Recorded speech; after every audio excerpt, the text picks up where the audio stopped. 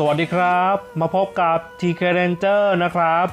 วันนี้ผมจะมาแนะนำ ranger ตัวเก่าที่กลับมาใช้งานดีนะครับแต่ว่าตัวนี้เป็น ranger collabo นะ ปัจจุบันมันก็จะหามาใช้งานไม่ได้แล้วนะครับ มันคือเจ้าเซตโชมารูนั่นเองนะครับ ตัวนี้เป็น ranger collabo อินุยาชานะครับ มาเมื่อเดือนมิถุนายน กลางปีที่ผ่านมานี่เองนะ ก็เพิ่งจะผ่านมาแค่ไม่กี่เดือนนะครับ ตัวนี้ผมเคยรีวิวไปแล้วนะครับ ที่ ID รอง ID นี้นั่นแหละ แต่ว่าเป็นแค่ร่าง 8 ดาวธรรมดาเวลร้อยยี่สิบนะครับ คือตัวเดียวโดดๆเลยนะ ตอนนั้นเนี่ยคือ ID เพิ่งสร้างใหม่ๆครับกบแดง 8 ดาว หาไม่ทันนะครับ แล้วก็พอหาได้เนี่ยผมก็ไปตีบวกตัวอื่น ซึ่งก็น่าเสียดายอยู่เหมือนกันนะ คือจริงๆตัวนี้นะครับผมมองว่าสกิลมันก็เข้าระดับเมตาอยู่เหมือนกันนะครับ แต่ก็เหมือนจะใช้งานได้ดีอยู่แค่ประมาณสักเดือน 2 เดือนก็เงียบกริบไปเลยนะครับ แต่ patch ปัจจุบันนี่แหละอ่าตามที่ผมบอกนะครับว่า ranger ที่มี crit stun damage กระเด็นใบ้นะครับหลาย ๆ ตัวเนี่ย กลับมาใช้งานได้ดีนะครับ ซึ่งตัวนี้มี stun นะอ่าแล้วก็มีการบีบมารวมตัวด้วย ผมก็เลยมองว่า skill ของมันเนี่ยถือว่าเป็นระดับ meta อยู่เหมือนกัน เพราะว่าปัจจุบันนะครับบอกได้เลยว่าเหล่าบรรดา top นะครับไปกดดูได้เลยว่ามีหลายทีมเลยนะครับนำเจ้าเซตโชมารูเนี่ยนำมาใช้ทั้งเกมเล่นเอง แล้วก็เกมตั้งรับหลายทีมมากๆนะครับ อันนี้ก็เป็นที่ยืนยันแน่นอนนะครับว่าตัวนี้กลับมาใช้งานได้ดีแน่นอนนะ อะเดี๋ยวมาดูกันที่ค่า status นะครับค่า status เนี่ยมันก็ยังพอๆกับตัวใหม่อยู่นะ เพราะเพิ่งจะผ่านมาแค่ไม่กี่เดือนนะครับ มีพลังชีวิตนะครับเวลร้อยสี่สิบอยู่ที่ 2.6 ล้านถือว่าเยอะนะอ่าแล้วก็เวทโจมตี 5 2 0 0 0อันนี้ถือว่าเยอะเลยนะครับ แต่ว่าค่อนข้างจะน่าเสียดายตรงที่ว่าตัวนี้ไม่มี damage skill นะ ถ้ามี damage skill ผมว่าค่อนข้างจะครบเครื่องเลยครับ ตัวนี้ยืนจุด 240 ครับ ถือว่ายืนใกล้ มีความเสี่ยงตายนะ เคลื่อนที่ 92 ถือว่าค่อนๆไปทางจะช้าแล้วอยู่เหมือนกันนะ ส่วน cooldown ranger ปกติครับ ultra 9 hyper 13 นะครับ ไม่ได้มีอะไรเป็นพิเศษนะ อัตราการใช้แร่ก็ถือว่าเยอะอยู่เหมือนกันนะอ่าแต่ว่าตัวนี้ก็ควรจะทำเป็นร่าง hyper นะครับ มาดูกันที่ skill หนึ่งครับ จันทร์เสี้ยวปรภพนะครับ skill นี้เนี่ยแหละที่มันเข้าระดับ meta นะครับมีการล้างอมตะนะครับ skill ไม่ได้ทะลุอมตะนะครับตัวนี้มันต้องล้างออกก่อนนะครับแล้วก็มีการติด stun นะครับ5วินาทีกับบีบ ranger เนี่ยมารวมตัวกันอะไอ้บีบ ranger มารวมตัวกันเนี่ยเหมือนกับตัวเม่นดำเลยนะครับแต่ว่าเม่นดำไม่มี stun ผมก็เลยมองว่า เซตโชมารูเนี่ย skill มันไปดับรัศมีเม่นดำแบบค่อนข้างจัดสนิทอยู่เหมือนกันนะ คนก็เลยหันมาใช้เซตโชมารูกันมากกว่าเม่นดำเยอะนะครับ skill นี้กว้าง 250 จุดนะครับ แต่ว่า skill ของมันเนี่ยเหมือนจะมีการ ข้ามไปกลุ่มตรงกลางอยู่ไกลเหมือนกันนะ รวมๆแล้วเนี่ยก็น่าจะไปประมาณสัก 400-500 จุด แต่ว่าลักษณะการบีบของ ranger เนี่ยมีแปลกๆอยู่เหมือนกัน บางทีก็บีบมาข้างหน้า บางทีก็บีบไปข้างหลังอยู่เหมือนกันนะ แต่จุดที่ไกลที่สุดแอบเห็นอยู่ว่าประมาณ 500 จุดก็มีอยู่เหมือนกัน cooldown skill skill นี้นะครับ 12 วิก็ปกตินะครับ ส่วนอีก skill หนึ่งเป็น skill 2ซึ่งตัวนี้ skill ออกหน้าป้อมนะ ถือว่าเป็น ranger ที่ออก skill หน้าป้อมนะครับ ดาบเขี้ยวฟ้าฟื้นนะครับ ก็จะมีการสร้างเกราะเลือด 4 เท่านะครับ เพิ่มการต้าน skill แล้วก็การโคลนนิ่งด้วยอะถือว่าค่อนข้างจะเจ๋งนะครับ ตอนที่ออกมาใหม่ๆ ผมบอกเลยว่า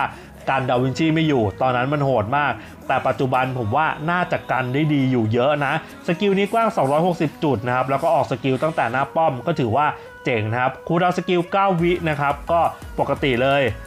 ความสามารถ hyper ครับสร้างร่างโคลนก็จะเหมือนกับcollabo โซนิกรอบนี้เลยนะครับ ตามที่บอกนะ collabo อินุยาชากับโซนิกนะครับ ความสามารถ hyper เหมือนกันหมดทุกตัวนะครับ การใส่เกียร์นะครับ ผมใส่แบบอินดี้นิดนึงนะคือตัวนี้ค่าเลือดเดิมก็สูงนะครับ แต่ผมไม่มีเกียร์ที่ครบทาง คือตัวนี้เนี่ย hyper 13 วิ ผมมองว่ามันเยอะไป ผมก็เลยต้องใส่เกียร์ ไม้คาถาลด cooldown นะครับ แล้วก็ช่องกลางครับ มันใช้แร่เยอะผมก็ลดแร่ไปด้วยเลยนะ คือไม่เติมเลือดแล้ว แล้วก็ออก skill ครับ ผมยังมองว่ามีความสำคัญอยู่ ก็เลยจับมาใส่แบบนี้นะครับอะใครจะปรับเป็นแบบอื่นก็ได้นะ แต่ผมใส่อินดี้นิดนึงนะครับ ตัวนี้จริงๆแล้วเนี่ยใส่เป็นค้อนรองเท้ากระเป๋าก็ได้นะ แต่ผมต้องการให้มันเนี่ยปล่อยตัวได้เยอะขึ้น แต่ก็ไม่แน่ครับ เดี๋ยวผมอาจจะปรับมาใส่เป็น ค้อนหรือไม้กวาดก็ได้นะ แต่ว่ายืนข้างหน้าควรจะใส่เป็นค้อนครับอะเดี๋ยวไปทดสอบกันในด่านปกติดูนะครับมาทดสอบกันในด่านปกติดูนะครับว่าเป็นยังไงบ้าง อะมาถึงก็ติดความสามารถ hyper เลยครับ และก็ออก skill หน้าป้อมนะ เซตโชมารูมี skill ที่ 2 เป็น skill หลักในการออกหน้าป้อมดูนะครับ ถ้าเกิดมันติดความสามารถ hyper เนี่ย skill ของมันก็จะป่วน 2 ต่อเลยนะครับ อ่า ดูนะครับลักษณะของ skill มีการโฟกัสแปลกๆ อยู่เหมือนกันนะ มีทั้งข้ามกลุ่มข้างหน้าครับนี่ครับมีทั้งผลักไปข้างหลังนะครับ มีทั้งข้างหน้าสุดไปข้างหลังสุด หรือแม้แต่ดึงตรงข้างหลังมารวมกันข้างหน้าอะมีความแปลกอยู่เหมือนกันนะ ผมไม่รู้ว่ามันโฟกัสยังไงของมันนะอ่าแต่อาจจะเป็นเพราะว่าผมปล่อยตัวจุดมันยืนไม่เท่ากัน แต่ก็สรุปแล้วเนี่ยมันข้ามกลุ่มข้างหน้าไป ไกลเหมือนกันนะ เท่าที่ผมเห็นเนี่ยน่าจะมีประมาณสัก 400 จุดนะครับ จากจุดที่มันดันไปไกลมาก อ่า อันนี้ก็อาจจะแค่ประมาณนะครับ300 400 จุดเนี่ยดันกันไปดันกันมานะ คือถ้าเกิดทีมเรามีตัว damage เจ๋งๆเนี่ยก็รับรองได้ว่า skill นี้เนี่ยพอป่วนปุ๊บก็ใช้ damage skill ฆ่าได้เลยนะครับ ดูนะครับ เออดึงกันไปดึงกันมาปวดหัวไหมล่ะ อะโอเค เดี๋ยวไปทดสอบกันใน PVP นะครับ คือถ้าเกิดมันอ่า skill ป่วนแบบนี้ได้ตลอดเนี่ยโอ้โห PVP เป็นเรื่องแน่ๆ แต่ผมคิดว่าก็ไม่น่าจะติดกันโหดขนาดนี้นะ ไม่งั้นตัวมันเองเนี่ยจะโหดแบบสุดๆเลยนะ โอเค เดี๋ยวไปทดสอบดูใน PVP นะครับโอเค มาทดสอบกันใน PVP นะครับอะมาทดสอบกันที่ตำนานหนึ่งเลยนะ แต่ว่าขนลุ้นของผมมีอยู่แค่ 7 ขนอะเล่นการซัก 3 ตานะครับ วันนี้ไม่ได้มีการแจกแต้มแน่นอนนะครับ โอ้โห มาเจอทีมแบบนี้โอเค ได้ทดสอบกันเลยนะครับ ว่าจะเป็นยังไงบ้างอ่าขอบคุณทุกคนนะครับที่มาแจกแต้มนะ ก็ยังมีหลงเหลืออยู่บ้างนะครับ ที่ผมไม่ได้พูดถึงอะก็ต้องขอบคุณเอาไว้ณที่นี้นะครับก็เรียกได้ว่าเป็นมิตรภาพครับช่วยๆกันครับ คือยังไงมันก็อยู่กันบนตำนานหนึ่งอยู่แล้วอะไม่น่าจะมีอะไรมาก โอเค เดี๋ยวมาดูกันครับ อะสกิลเป็นยังไงบ้าง เฮ้ย ติดไปถึงนู่นเลยเหรอ ไม่น่าจะใช่สกิลเห็ดนะครับ สกิลเห็ดกว้างก็จริงแต่ว่าทำไมมันลึกไปถึงขนาดนั้น ต้องดูครับ วงกลม black hole มีติดบ้างไหม โอ้โห สกิล black ติดดีมากครับ เฮ้ย แต่เขาออกมาเยอะมากทำไมช่วงนี้ bot โหดหรือไงเนี่ยทำไมมันถึงออกมาแบบว่าค่อนข้างจะเยอะครับ แต่ก็นะทีมผมเนี่ยเหมือนจะเป็นตัว ป่วนซะเยอะนะครับ เป็นตัวที่แบบว่าเน้นป้องกันเน้นการป่วนอะแต่ก็ทั้งผลักนะครับ โอ้โห ถ้าเกิดผมนี่นี่มีติดนี่ข้างหลังติดชัดเจนเลยครับ เซตโชมารูรวมตัวไปเพียบเพียบเลยครับ เฮ้ย โอ้โห แต่ว่าเจ้าบิวโหดมาก อะผมพัดก่อนดีกว่า อะขอพัดก่อนครับ โอเคเขาพัดกลับมาพอดี เออวิ่งเข้าไปบิดเข้าไป บิดเข้าไปอัดป้อม เออโอเค โอ้โหแต่เขาอยู่หน้าป้อมมหาศาลมากครับ จะโดนดันออกไหมเนี่ยโอ้โหมีโอกาสโดนดันอยู่เหมือนกันนะ เพราะว่าทีมผมตัวทำดาเมจแบบหนักๆจังๆเนี่ยไม่มีสักตัวครับ คือมีแค่แชมเปญเวลร้อยสี่สิบอะแต่โอเคละ ถ้ามันดันไปขนาดนี้ก็น่าจะได้อยู่ครับ โอ้โห เหนื่อยอยู่เหมือนกันนะเนี่ย คือมีคนถามอยู่เหมือนกันนะว่าไอดีหลักกับไอดีรองเนี่ยไอดีไหนเจ๋งกว่ากันเออผมว่ามันมีความชอบต่างกันอะคือไอดีหลักเวลมันก็ 60 แล้ว ก็มีการอัปเกรดค่อนข้างจะสูงครับ ตัวหลักๆที่เป็นการหลักเนี่ยผมก็เป็น master หลายตัวแล้วเหมือนกันไงมันก็ค่อนข้างจะเจ๋งนะครับ คือไอดีรองเนี่ยตัวเจ๋งก็จริงนะครับ แต่ว่าการอัปเกรด ตัวเวลมาสเตอร์เนี่ยก็ยังสู้ ID หลักไม่ได้ แต่ ID รองเนี่ยตอนนี้มันไม่ค่อยจะกระตุกไม่ค่อยจะค้างไงมันก็เลยพอจะเล่นได้ อันนี้ผมขอคัดทีมนะครับ เพราะว่าถ้าเป็นทีมที่เป็นระดับตำนานหนึ่งจริงๆเนี่ยผมสู้ไม่ได้แน่ๆนะ ต้องเป็นทีมที่แบบว่ามาจากแบบแถวแถวมาสสามมาสสองนะครับอะมาเจอกับทีมนี้นะครับอะคิดว่าน่าจะสู้ได้นะ เพราะว่าดาวินชี 2 ตัวเนี่ย อาจจะไม่โหดเหมือนเดิมแล้วนะครับ โอเค เดี๋ยวไปดูกันครับว่าจะเป็นยังไง อ่าจัดไปครับ โอเค